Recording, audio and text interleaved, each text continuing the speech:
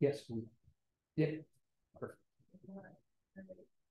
I just want to thank you guys so much for coming and uh, being part of this. As you know, or maybe perhaps you don't, sheep has been a major commodity for the world. And what is so interesting about this is sheep actually changed the course of civilization. We may not realize that just because of, you know, dogs or horses. But what happened with sheep, sheep has decided to come into the picture at 900 BC. Okay, we're just, is that it? Is it? I can't quite read it. Here we go. There we go. Okay, Oh, there's one. there we go. So this, of course, is, is me with my bum lamb. And I was interested so much in that just because it but we'll go to the next.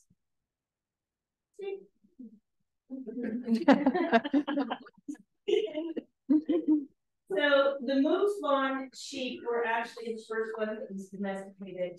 And it was nine, 900 BC when the Scythians over in the stands actually went ahead and uh, domesticated these sheep. But I do want to start out with a poem that I found by Robert Francis. From where I stand on the sheep, the, the sheep stand still, as stones against the stony hill. The stones are gray, and so are they. And both are weather worn and round, leading the eyes back to the ground. Two mingled flocks, the sheep and the rocks. And still no sheep stir from its place or lifts its Babylonian face. So sheep were even before the uh, the Western civilization. And so they have changed, actually, like I said, in the course of history. The Scythians, what were they? Scythians were well before um, Mongols and the Mongolian people. And they come from the Iranian stock. And how they figured there's so much discrepancy of actually how this happened that and way back then we don't have the written words, but the Scythians actually were found in a grave. And what was interesting is they were able to do some DNA. They were also able to figure out how long it was. And as far back as they could figure is the mouflon, maybe perhaps they got one that was a little docile decided to catch it, baby it, feed it, and then catch more. And then that's how they went ahead and they became a domesticated breed. But what happened was, is there a hair sheep? With mm-hmm. hair sheep, so of course there's nothing to spin, but they went ahead and they milked them. They used the skins. They also use absolutely everything so the nomadic tribes actually were nomadic just because they had to follow the food source. Well, because of the, the domestication of this, they had to have marketplaces. Marketplaces means that they absolutely had to have a place to be able to come and figure out where that they could have the exchange, and stock exchange. Hmm. So, so what is so interesting about this is so then the nomadic people could actually stay in one spot for X amount of time. They didn't have to go and follow the herds, follow where the food was. They could go ahead and stay there. So then it was also called soups, or they were selling the stock, the stocks. Horse and the dog and the sheep. They made it a lot easier on the nomadic tribes the wide steppes, and then they no longer needed to be mobile, hence the Mongolian gers. Gers are another word actually for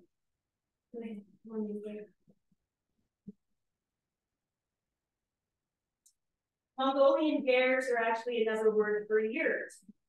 So then we bring in the Mongols.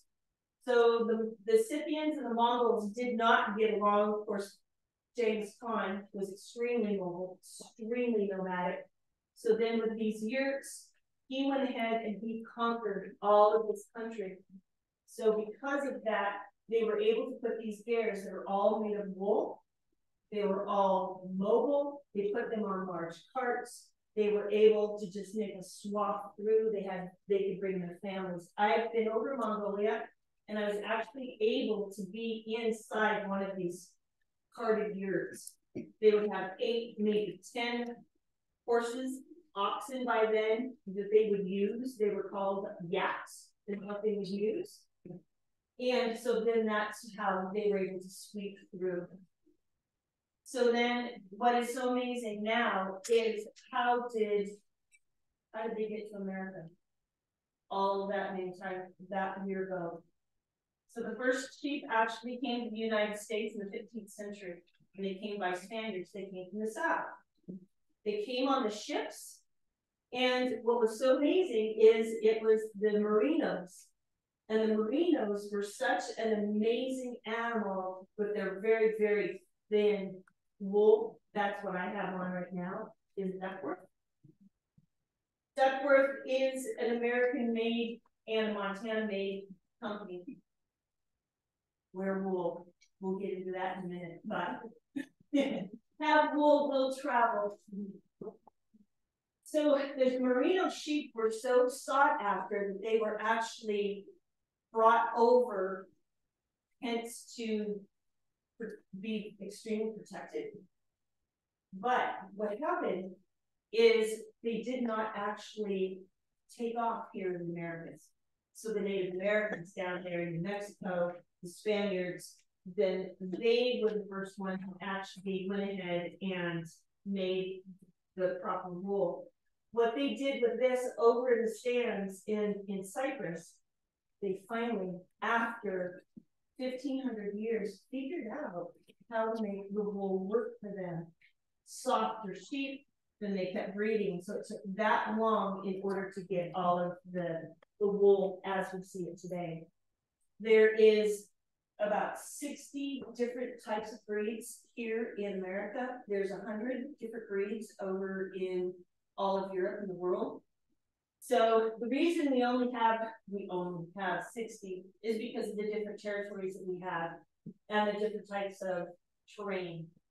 So you go down south, we need definitely the smaller, more resilient sheep because of the heat. We have the arid sheep more up here. And so therefore we have domesticated the sheep and they're all um, dispersed throughout. So when I was blessed enough when I was writing in Mongolia to be able to, I did not take this, I can't take credit in this picture, but it takes them months and months, kind of like the cattle drives in Montana, from Texas to Montana. It took them months to get their sheep to the market. Ulaanbaatar, like the, the Oklahoma stockyards or even the Denver stockyards, are one of the largest markets.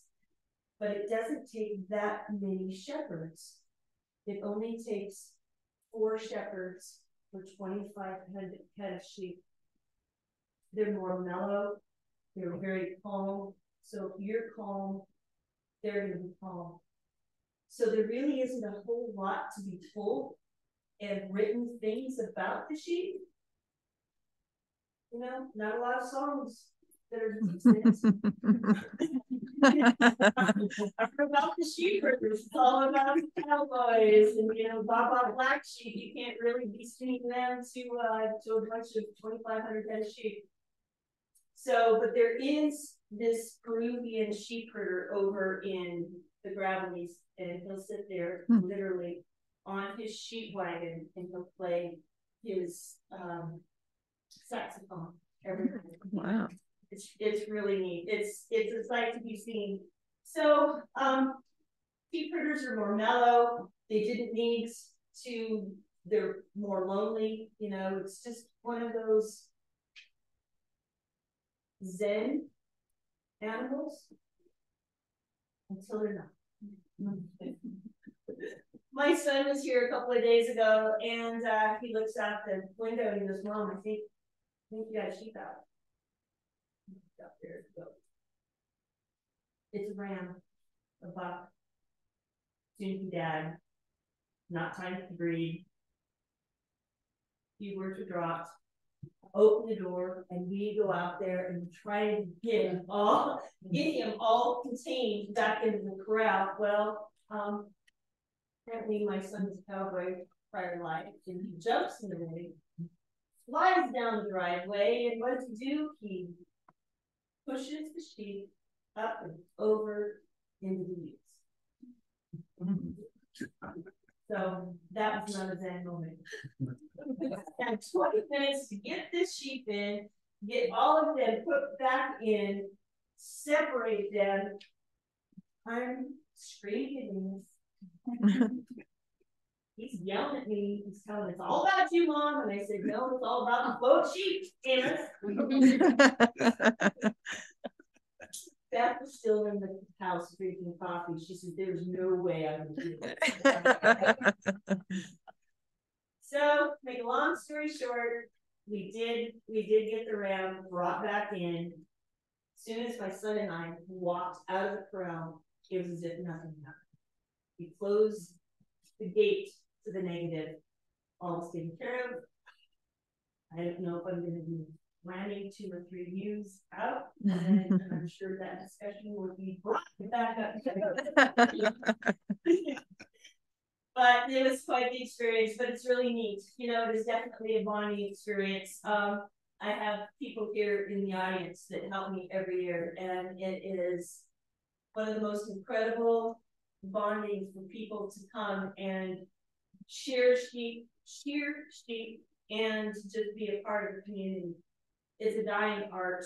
It's a dying breed. Um, the majority of the people here are actually women who are sheep herders, just because they are a lot more mellow. You know, men have a tendency to um, jump in race and chase rams out to use. Hey, so I want to kind of give you a little bit of lowdown of some of the terminology of sheepdom. So the gestation period is 152 days. That's five and a half months.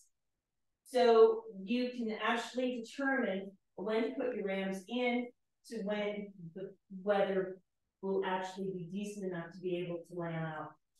I have over 80 ewes myself. I lamb out most of the time by myself. I do get in a bind and then I do call people. But for the most part, when you are in sync with the animal, you don't need a lot of help. So sheep terms, ewe, a ram or a buck. A lamb is a baby. Lamb planting season, that's one that I just told you about. That's when the ewe itself gives birth. Shearing. So back in the 1800s, they didn't have electricity. And some of the Peruvians, some of the Basques, these are extremely, extremely sharp. So that's what they would cut the wheat with. And it's almost, if you go to Australia or you watch some of these New Zealand shows, they can actually cut as fast. Mm-hmm. They can shore a view as fast with one of these as they can literally with an electric shears. So docking, banding. So I don't dock, but I band. And what happens is, is you get you get fly blocked if you don't dock or cut the tail off some of these lambs. This is the last Peter Van.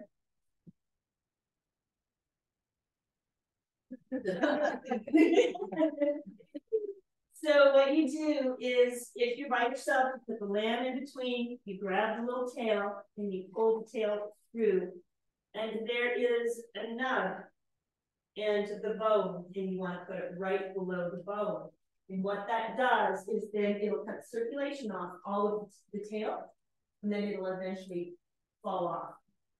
Is that humane? It's more humane to do this than it is to take a Syrian rod and sear the tail off because this way you can keep more, you can keep track. What happens is when you sear that off, you can get flies, but you also um, dock them with iodine. So, any questions about? So, and then what I do is I tag all of my ewes and my sheep, my lambs. So this here is what I go ahead and I do with the uh, the ear tags. The reason they're blank on the other side is I put the ewes number on here and usually the dates. That way, if I have a predator or if the lamb is sick, then I can get the ewe and the lamb in together and the different colors are also male or female. So this is really, really important to have. And what this does is, since this is an obsolete tag, you put the ear in here, you pull down on that, and that stays. So I don't know a sheep herder who doesn't have this. They also have their own uh, mechanisms or their own way of keeping track of their Some of them have numbers, of course, already written on here. Sometimes the dates, the year, and also on the back, sometimes they have the branch on there when they have these bigger bands in case they crawl fences and they get into um, other people's bands, and then this way they can tell. Now, also another way of distinguishing my sheep and the numbers on the tag and the numbers on the ewes is I dip this in sheep paint. So all of these numbers correlate with the ear tag. And then the ear tag itself is the same number for the lamb as the ewe. These are old. These were actually my dad's. And I'm not sure where dad got these because we have had these never, I've never not had these. And sometimes weather is so unpredictable. I don't land inside a barn very often. So I go out there in the middle of the night. Sometimes the land is wet, cold, the wind is howling, and I put a little jacket and when they're cold and they're miserable, and you can see them just lean into that kind of. And so, of course, you don't have pink ones, but they've got red and they've got blue. And I see Kirsten and Einar, they go out there and they go. and sometimes it is so cold for so long that they outgrow these. So, and then also another way is also the marker paint. So what happens when a ewe passes away or maybe they have they don't have enough milk or they have triplets? So these are nipples. And so what I do is we have um, powdered milk, goat milk. Sometimes the cows themselves, I'm able to go over the neighbors. And I can put this in the bottle. And then you just put this on, you snip this, and then you will never get rid of on land. They'll follow you around. And then sometimes um, what's fortunate for me is I have a niece and a nephew that love that, and they can take them off my hands a little bit. And then the sad thing is they act from that. They don't know me, they yell and at the gate. waiting, waiting for Kirsten to come back. so that is that. And then the bell itself. What I do is because of predators, I have sheep bells. And also not just on the ewes, but I have them on wethers. Wether is a castrated male that I keep because he's usually the the lead. I have a lead ewe, but I also have a lead wether. I shape the bucket and I compare them I can find out where they're at, even though I don't have a lot of property, but still that really helps me quite a bit. So is there in sheep? Well, there used to be. so it's more of it's more of a love of the land, more of a love of the animal itself. Um, but there was in twenty twenty a Texel sheep that went for four hundred and ninety thousand dollars. Yeah, no kidding, unbelievable. I'm not gonna switch brands, breeds just because of that, but, um, that was just one of the, uh, one of the deals. here. Oh, guess one of the selection. What breed was that? Texel? Not that Texel. Yeah, that's what it was, a digital Texel. Yeah, and they're really muscular, and they almost look like a bulldog. I mean, they stand there and they're just full, full on muscle. It's really bizarre. I have line when I have tails. So this is a neat, this is a neat photo. This actually came to me um, through Karen. Karen found this for me as we were going through some of these old pictures down here. And this is my grandfather's, grandmother and grandfather's grand sheep. Havastro took took these pictures, and that's actually what these are, are Havastro pictures. And if you don't know Havastro, you'll have to come to the, one of the talks that they'll be doing, and they'll probably talk about who Havastro was. He was the brother-in-law of Friar John, John's dad. No, I lied. No, Har- Harvard. Harvard, oh, Harvard, yeah. But Har- Havastro was in business with John Fryer, John Fryer's dad. So, yeah, yeah, it's really, there's so many, um, correlations to, to this valley, it's unbelievable. So the sheep itself didn't take off until the eighteen sixties. Now, I don't know if you guys know that Montana was not founded east-west. It was founded from west, to east. And the reason for that is because the the uh, gold rush down in Oregon and Washington or in uh, California, everybody was going to the Oregon Trail. So what did they do? They all went to the Oregon Trail. They brought sheep over there from the Spaniards and headed west. So when we found gold here in Montana, then the sheep, 1,500 head sheep came from two men over there near um, the Road.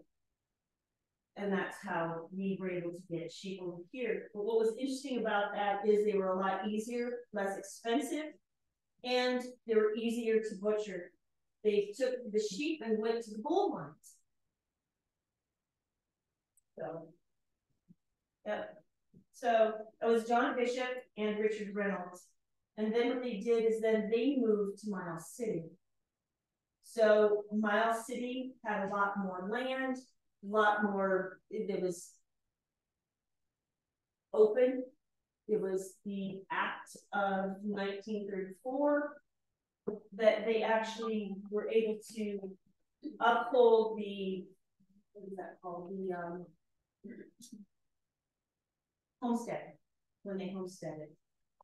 But then the land was opened in 1909 to 1917, and homesteaders then came in droves.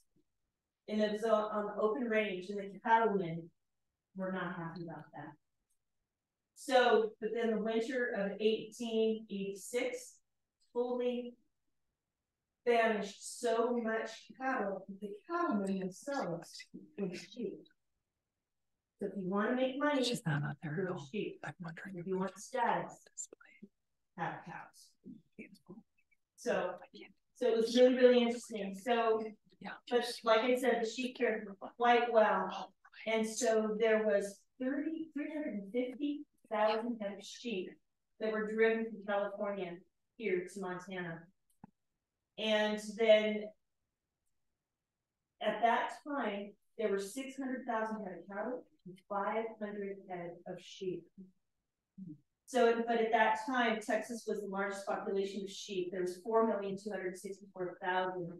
But in 10 years, it dropped to 1.4 million. But Montana increased to two million three hundred fifty. But seven years, it went to four point two million. It peaked at six million and the open dry land opened to settlers in nineteen twenty-one. And then it dropped back down to two million. And the reason that it did is due to the land opening range, the uh, availability. And then the cattle and the sheep contention happened. So I did a little bit of research. I don't know if there were any sheep and cattle wars here in Park County. I haven't been able to dig, but I did dig about one massive massacre. It was with John Kendrick, and he had the largest cattle ranch. He also started the Montana Stock Growers. And he lived over there by Hayden Creek, which is near Ashland, Montana. And then Robert Selway, and what they did is Robert Selway did both of these men had a massive ego. And then they cha- and with Selway, he challenged the old standard. So tempers grew, sheep came in, sheep herders came in, cattlemen got angry because of the good old boy society. This is our land. We've always been here. This is the way it's always been that the sheep herder actually have the law on their side. That didn't happen. Hmm. So with with the tempers growing, there's signs posted all over Miles City, all over Ashland, probably here, but I can't guarantee that. And it says, don't bring your sheep to Powder River. If you do, bring your coffee. Hmm. You're gonna need it. Hmm. So December 28th, 1900. It's called the Bear Creek Raid or Slaughter on Otter Creek. Hmm. There's a book written about it. I did a talk over in Hardin. Hardin's cattle. I'm a sheep herder. you don't think I was nervous? Indian country and cattle country, it's just like, oh, and so then I talked about this slaughter on Otter Creek. So there was mad contention. They warned these these cattlemen, these cowboys went ahead. They they did everything that they could to stop the sheep herders. Didn't happen. Sheep herders just kept coming. So December 28th, 2,113 head of young, unbred ewes were brutally attacked by 10 men. Hmm. They were on horseback, they had clubs, it took them 10 hours to become on foot. Yeah, ego. You know, she herder won't back down, cattleman won't back down. And that's what happened. Hmm. So that's that's actually where the cattle and the men war men uh, sheep people happened. Johnson County Wars, you probably heard about that. This was actually the first one that happened. It was such a hush hush paid, they paid their cowboys so well to keep their mouths shut. Nobody knew about it until the late 40s. Mm-hmm. Not until most of the people were already gone. Hmm. So they had heard rumor, but nobody said anything. But they never killed anyone. They didn't even kill a dog. They just be used, to just to make a point. So then Johnson County heard about this. They were in That's when sheep herders died. Hmm. That's when cowboys died. That's Hmm. when dogs died. Hmm. Thousands of sheep. So that's that's very very sad transition. But what also happened in December, cold, miserable. It's right there on the Cheyenne Indian Reservation. The best year they were able to eat in years. Hmm. They came with their wagons. They came with their horses. They loaded up all of those those slaughtered animals, took them back to camp. They had an incredible feast. Probably dried it.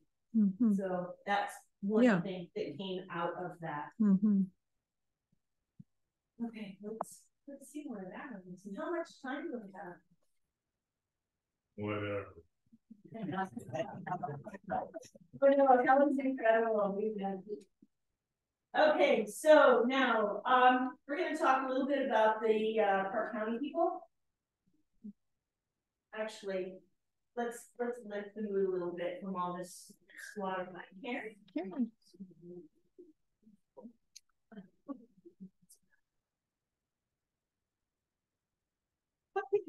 what paperwork does elderly sheep need?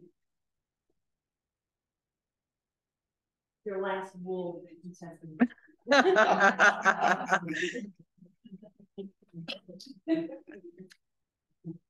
Yeah, after that, went back, I thought, all right, maybe we better have a last, last will.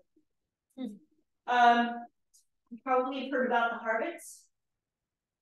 Everybody knows about Harvard's Flat. Do you guys, does everybody know about Harvots and Harvots and lilies?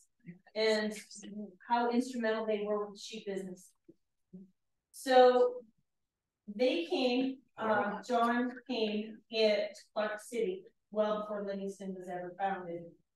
And he first raised cows, but got into the venture in nineteen hundred of raising sheep. He had modest holdings to begin with, he only started with eighteen hundred sheep. And before the Harvots were at their peak, they leased, owned, and had permits for the foresters for a hundred thousand acres. They got up to twenty-five thousand head of sheep. So this is, as you see, these are the Harvots sheep. And this here is one of their leases up, probably up, oh, I shouldn't say, I don't know, I lied. I don't know what it's at. Next slide, Oh, nope, back. so we won't, we'll just keep on that one. So, uh, what is, what is so amazing about the way that he was, that it was actually the brothers that increased the herd so much. And then they sold out in nineteen fifty-three. So then the Butler Ranch, have you guys heard about the Butlers? Okay, you guys will eventually. These guys were incredible. So Frederick and Josephine Butler, AKA Josephine Shorthill.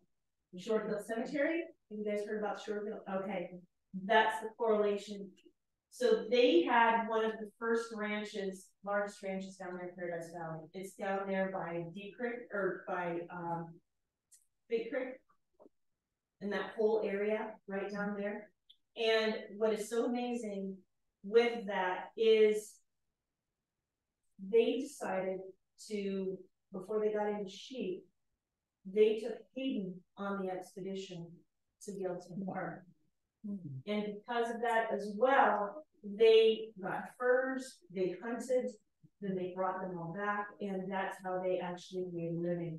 They're, they did so well with all of that exploration in Yellowstone Park that they made a 21 room hotel right down there at Butler Springs. Hmm. That burned, Hmm.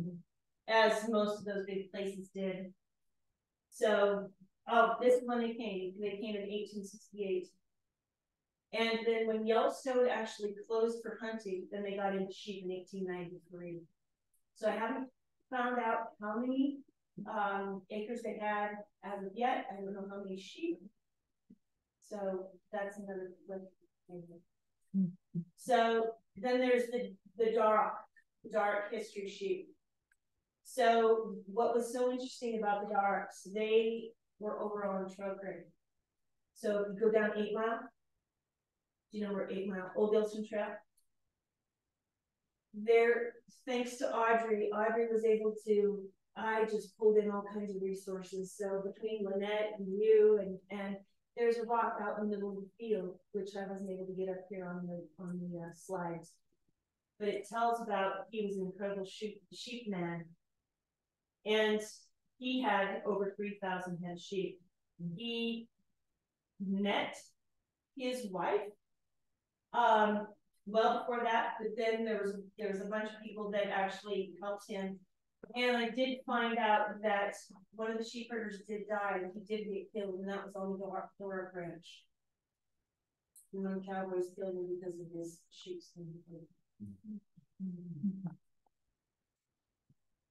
And then there's Charlie Bair. Even though he's not from here, everybody knows about Charlie Bair. Charlie, at one point, had a clip, which means wool, of over a hundred, no, but please, hold on, one point five million pounds of wool. Uh, He owned three hundred thousand head of sheep. He was thought to be the most, he held the, the most sheep in actually the world at one point. And in fact, it is going so well over where there, the Charlie Bair Museum, I don't know if you guys know where that is. So they have not only a museum, but they also have a kids come in and they do service for them and then they're able to write a paper. And whoever gets it, are, they have a full ride four year scholarship through the Bair. The Bair women, you probably heard of them in Billings. They never had any children, they didn't have any, any heirs, so that's why they went ahead and made, um, made these scholarships. So some of the other names that you probably have heard of here in the valley, Smith, Briggs, Harbix, Guy Hunter, and he had the park sheep. Let me see.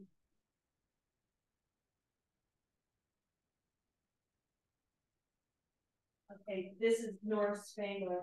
North Spangler, I was actually able, when I was a really little kid, my dad to talk about him, and he actually came over the ranch one time.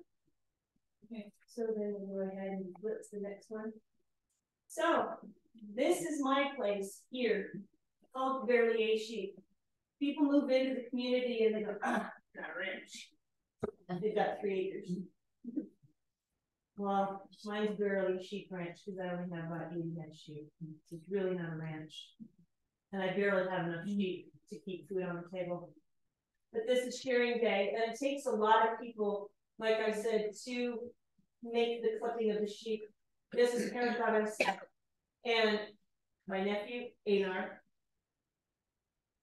There's Dane, my son Amos, and then some of the other boys that just come in and help. Like I said, it is a big community that I'm allowed to be able to uh, share this day with. And then, and that's the wool. And what we're doing is we're skirting. So sometimes when they get green grass, there's a bunch of food around there.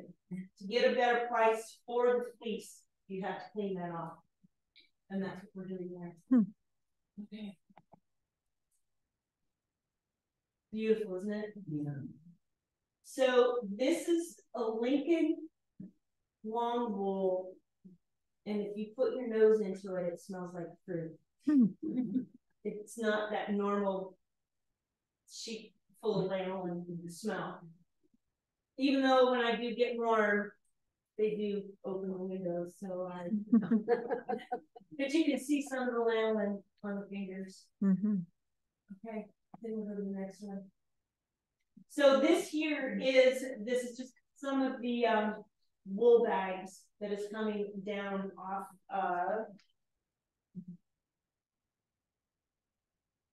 The Alkire Ranch.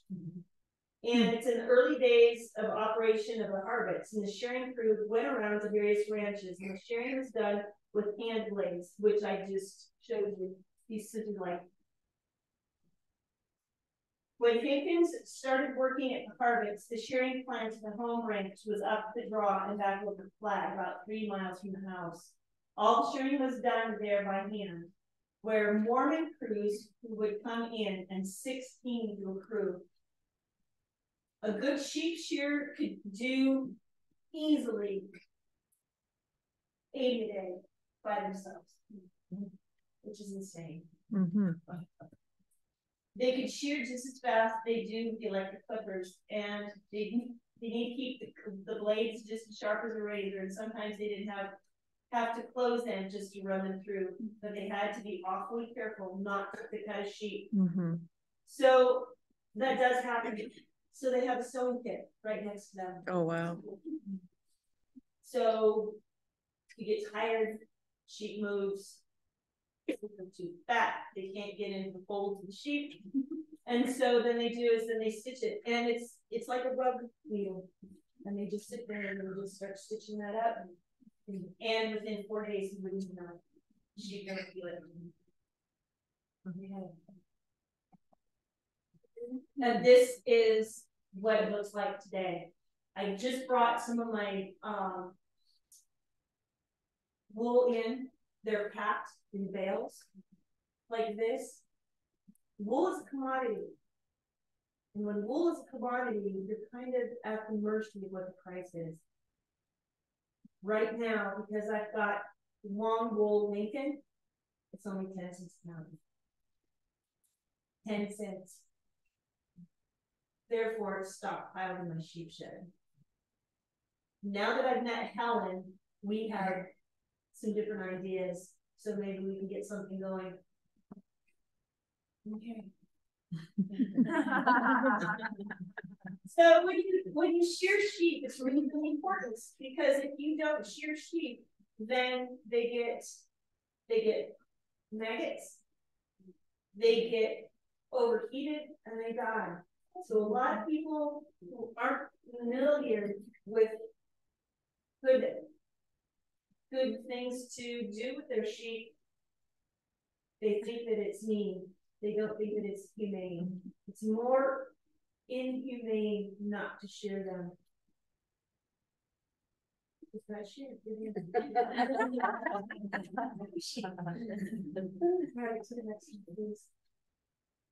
So, how come we don't have sheep, lamb on our table anymore? Been happening quite a while. So it was actually in, let me see, you have notes, I should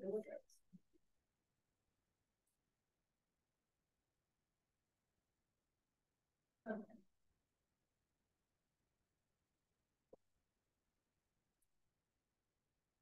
So it just wasn't predators that actually hurt sheep. It was because of the I was sitting right here when the boat came. Maybe just five minutes. Oh, okay, I can do this. I'm just about there.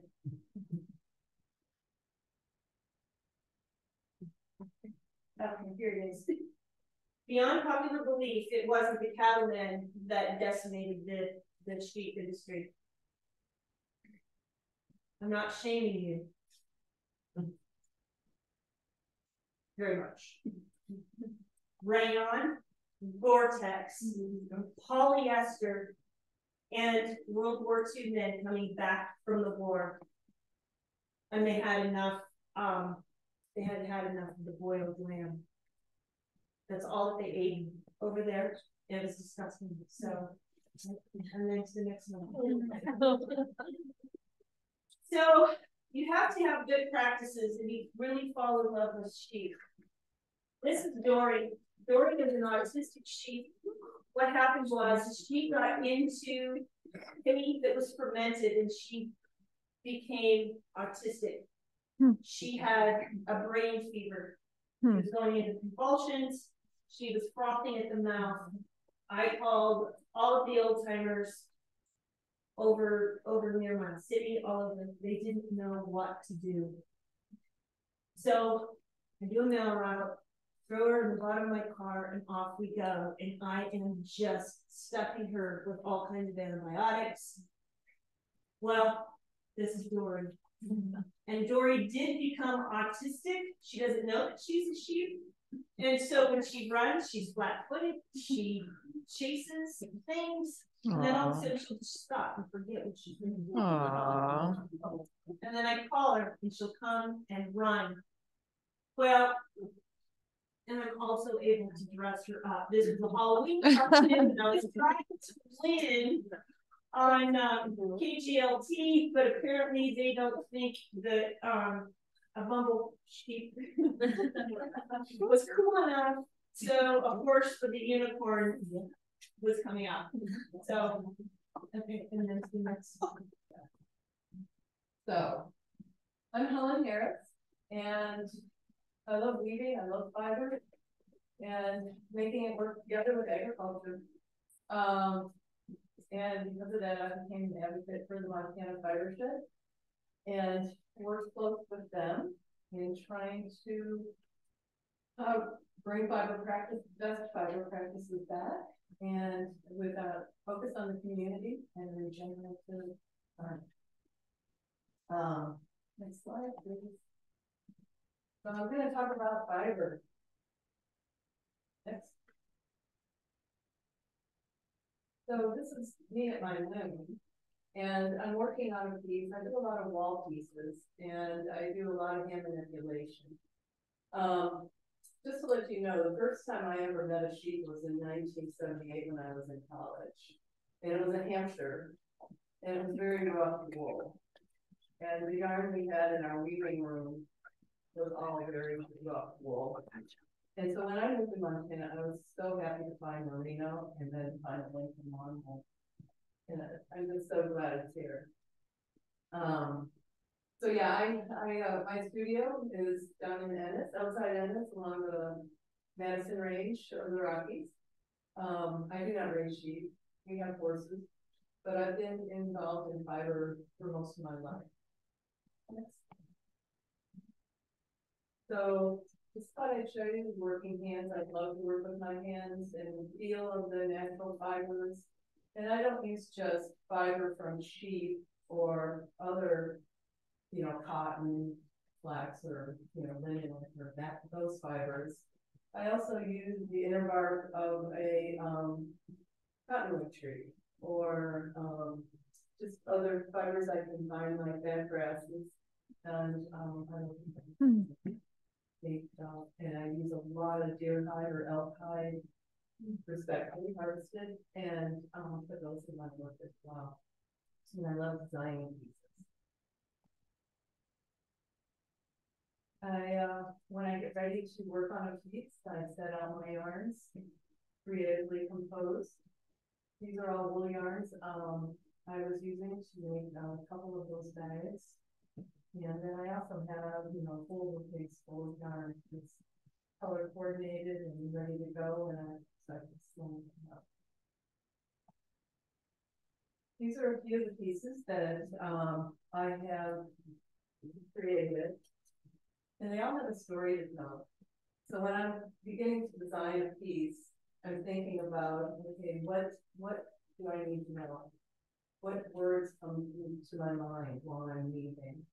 And I write all this down, and in the end, I put together a story that, for instance, the third piece over is a wall piece, and I'm telling you the story of the thoughts I had while I was weaving. And it, it just really makes me that next piece. Um, so these are some of the pieces, and there's some of it there over there. The moccasins, I was work, I worked with Shauna White Bear. She's a Native American, a Native American original, and she has a a studio over in Bozeman, and she makes moccasins out of bison. And then I was getting a pair made, and I asked her if I could have make my fabric, have my fabric on moccasins, and she was using Pendleton uh, dead stock, and she said yes. So now I do custom fabrics for her. Um, and then the second one, um, that was a wool vest I made for our fashion show, which we'll talk about later. And there's another woman in Bozeman who uses um, bison and um, takes product from them. She gets bison and I think from the native, some of the Native Americans when they go harvest out. And so she, that was like a collar and, and balls on it that, you know, work well with that piece and it's extremely warm. We can move to the next one. So I think I mentioned that I was part of the Montana Fiber Shed. I was one of the founding members.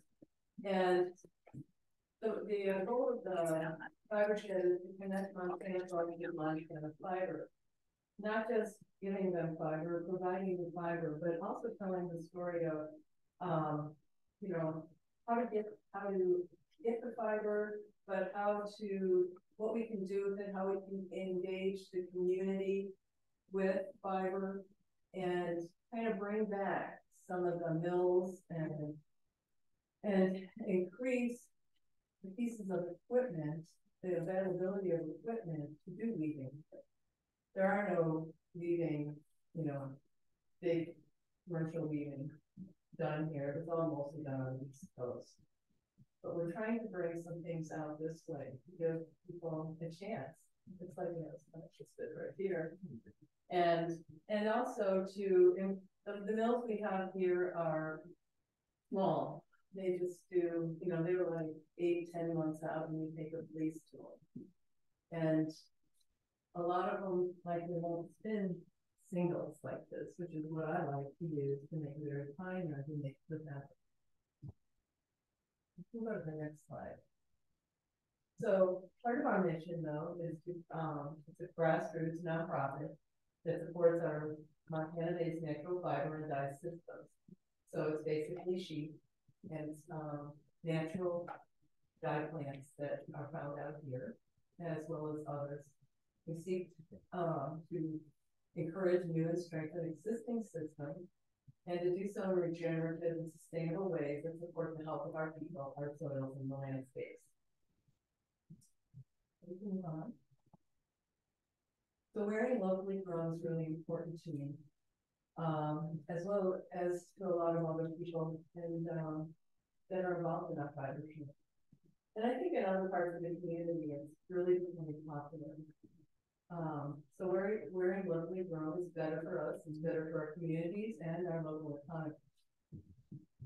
Since the price of sheep wool has cut drastically dropped, you know, we really want to help people, encourage people to start wearing wool, and, that also cuts the price of the ranches. Most of the fiber grown in the US travels over six thousand miles before returning to us as wearable garments. And wearing Montana grown helps keep the jobs and dollars here. And those two, uh, pieces right there, if you go back to one time. Those were some that, uh, Lorna found for me in a picture, and they are humongous. They are not normally that big. Okay. So another reason to wear wool is you can reduce the carbon footprint. Sheep turn grass into wool, wool is fifty percent carbon, and you knit a sweater and it lasts a lifetime. Mhm. So your carbon's captured, it also can be conscious. But because it lasts forever, it's gonna be a long time before it goes into the compost pile. Okay, the next. So once again, this is kind of the soil to soil concept that, um, the fiber shed. Um, embraces as well as other, um, groups throughout the state. So you're, you have sheep, cotton, fast fiber and dyes and, um. They are processed into, you know, the clothing and home goods and other fabrics that are necessary. Um, and then the, the designers make it. And then the design, the designer, designers cut it out into the products, so the garments. That are, are made and they can be recycled and, um, composted, as I said, and then applied to the pasture and farmland. And then the cycle starts all over again, so it's a win-win situation. So I wanted to introduce you to a few, um, of our producers, bills makers and yard shops. You know, once again, we're grassroots, trying to make connections and concerned about the stewardship of the land. Okay. So producers. And we're basically, okay, let's see, let's go on to the next one. I think there most people, uh, barely issue brand. Lorna Marchington is one of our new producers and he, um, raises sheep, okay, and then go to keep on Okay, sorry about that. next. And that, what, hold on. There we go. Another one is, uh, Duckworth Clothing, it's the Helle Rangeland Ranch, and they grow merino wool. Hmm. They, um, are out in Dillon, Montana. You see their products in town, Mhm. um, however, they're not made here. And that's another problem, because we don't have facilities to scour the wool and weave the fabric and, and then make it into the, the garments that they have. Uh, most of their production is done in Ohio. So it is in the US, it hasn't been shipped overseas. They sell it at, so, do they sell here? I think that's still selling in, um. Their offices.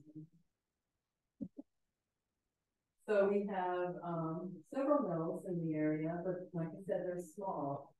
Um, the Montana will burn out in Cardwell, and they're the ones that spun this, um, singles, um, yarn. me. And then there's the wool mill in Belgrade. And they do a lot of, uh, they try to cater more to knitters, but they do a lot of two ply. They also are incorporating bison into their yarns now. Hmm. Um, and also dyeing some with indigo and doing a mixture. Hmm. There's a new mill, um, that is up in Kalispell, but I don't know the name of it yet. And, um, that'll service the area there, because a lot of those people go up to Carstairs in Alberta. Because it's closer to them. Hmm. And then the Mountain Meadow will, um, mill in Buffalo, Wyoming, I have not been there, but they have recently really expanded, are now Hmm. doing dyeing. And do more scouring, the facility is bigger, Hmm. so. Um, that's the place I want to, want to field trip. Yes. Mom, can makers, I just wanted to introduce you to a couple other makers. Ellison Grove, she's a weaver and fiber artist, artist out of Townsend, Montana.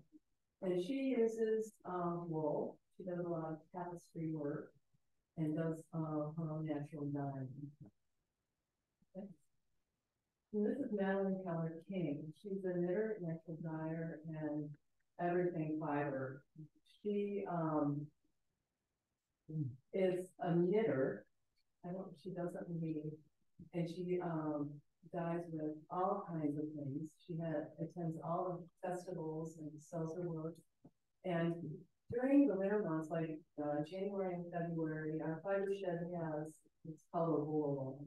And it's on Zoom, and you can join in, Madeline, uh, runs those sessions. And she'll come up with either a new sock pattern, knitting pattern, or a each year. And she will walk you all through it and, um, and then we bring in a speaker to talk while everybody's sitting on the knitting. Hmm, Nice. Can go on. So we have about five yarn shops that are total, you know, pretty much have a lot of yarn and carry a lot of our producers' yarns. Um, the uh, the Fiber LLC is a new one in Bayport, and the Daily Yarn Shop in Dillon is relatively new. And then Sticks and Bozeman and uh, Easy just Joseph Cove, the Yarn Bar and Dillon's. There probably are a few more, but these are the only ones that are actually known as a lot of shed right now. So we started the fiber shed, the Montana fiber shed in 2000. But 2018, we started running our bylaw, becoming a nonprofit and getting members and produce, you know, producers and everything involved. And our first event was a farm to fashion show at Emerson and Bozeman. And um, we were going to do it in 2021, but due to COVID, we had to make it 2022. And so this is some photos from the fashion show portion. The girl in the middle had made a uh, felted Hmm. wool wrap. And she, her inspiration was an antler of her dad's, Hmm. uh, a deer antler. And then we have a couple of wool sweaters and a wool dress and coat, and then like everybody be, uh, you know, a supporting member if they wanna join. Um, mending bar happy hour, that is our initiative this year, earlier this year, where we held several mending bars across the state, where we were just teaching people how to save, you know, wear their clothes longer. So this is an example of some of the stitching. Come up and look at that. And, um. And house a room. And have rooms available for people to come in and weave at their leisure and create their garments. It's something we're lacking. And, you know, it's, it probably won't be a huge loom, it might be several small looms. But at some point, we'd really like to try to get production, big looms out here, they never were really out here, except I think. There was, there may have been one years and years ago. Big boots, yeah. Okay, so, um, on the loom, it doesn't take me long, um, but I did probably five yards of fabric. And then, and I'm like kind of creating while I go, so it's hard to say. I probably could have done it in a few days. Um, And I had a woman out in Laurel who hand spun all this. So it starts with that. And she, and I used her because she was the only one that could spin it thin enough. So a hand spinner can do it a little bit.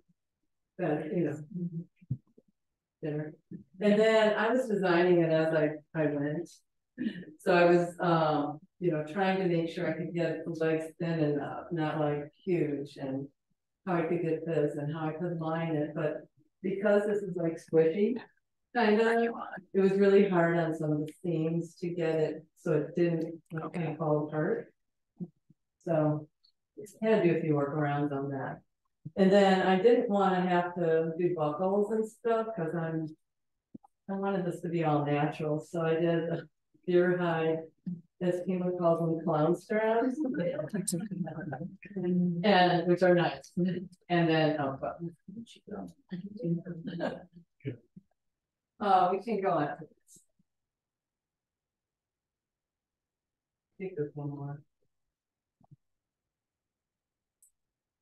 Fooling ourselves is an mm-hmm. agricultural fact.